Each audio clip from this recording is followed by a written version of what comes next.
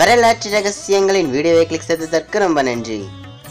பொதுவாக நம் சிவன் கோயில்களில் சண்டிகேஸ்வரரை பார்த்திருப்போம். யார் இந்த சண்டிகேஸ்வரர்? அவரை பற்றி இன்று நாம் பார்க்கலாம் பாருங்கள் சோழ நாட்டில் சேலூர் என்கின்ற ஊரில் எச்சதத்தன் பவித்திரை தம்பதியினர் வாழ்ந்தார்கள். இவர்களுக்கு விசாரசுருமன் என்கின்ற ஒரு மகனும் இருந்தான். இந்த சிறுவனுக்கு சிறு வயதிலிருந்தே சிவபக்தி அதிகமாக இருந்தது. இந்த சிறுவன் மாடு மேய்க்கும் தொழிலை மேற்கொண்டதால் மாடுகள் இந்த சிறுவனை உயிராக நினைத்தது. சிறுவன் செல்லும் இடத்திலெல்லாம் சிவலிங்கத்தை மண்ணில் பிடித்து வைப்பது வழக்கம். அதுபோல் ஒருமுறை ஒரு பசு அந்த மண் சிவலிங்கத்திற்கு அபிஷேகத்திற்காக பால் கொடுத்தது.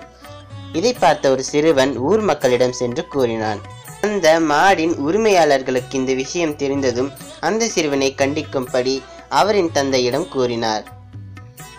இந்த ஊர் மக்கள் கூறுவதில் நம்பிக்கை இல்லை எச்சதத்தனுக்கு விசாரசுருமன் அதேபோல் ஒரு நாள் சிவலிங்கத்திற்கு அபிஷேகம் செய்வதை பார்த்துவிட்டு அவரின் தந்தை மிகவும் கோபத்துடன் அந்த சிறுவனை அடித்து கண்டித்தார்.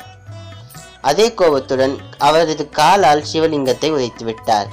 இதனால் மிகவும் கோபமடைந்த அந்த சிறுவன் கையிலிருந்த குச்சியை அவன் தந்தையின் காலில் போட்டான். அது சிவனின் அருளால் கோடாலியாக மாறியது.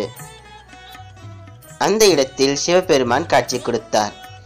என் மேல் இருந்த பக்தியால் உன் தந்தையை நீ தாக்கினாய். இதனால் நீ இன்றிலிருந்து சண்டிகேஸ்வரர் என்று அழைக்கப்படுவாய். நீதான் இனி என் ஆலயத்தின் சொத்தை பார்த்து கொள்ளும் பொறுப்பை உன்னிடம் அளிக்கிறேன் என்று கூறிவிட்டு அங்கிருந்து சென்று விட்டார்.